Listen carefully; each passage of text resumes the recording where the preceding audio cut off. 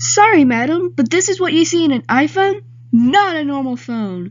Ooh, can I see that phone? I've never seen a phone like that. What's its name? Is it Apple constructed? Octagon, just shut up.